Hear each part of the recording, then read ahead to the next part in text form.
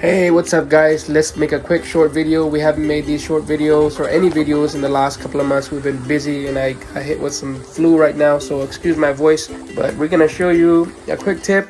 This is our chicken trailer and on our chicken trailer we have this awesome Kebonnixs door opener, automatic door opener, but it just stopped working because of the display. I can't not put any input of the time. And then we ordered a new one from Amazon for $62 it was on sale. So I'm just gonna go ahead and replace the, the control box. I don't need to replace the door. I did check the size. It was a little bit different so I'm just gonna keep that same door in there. So let's put new batteries in it and let's set the timer. And this time what I'm gonna do is to protect this I'm just gonna put like uh, first I was thinking about putting like a hinge box cover over it or something but I just I just put like a, a sandbag with some screws. I think it's gonna work fine. So if you have any equipment like this, make sure you protect it from the sun.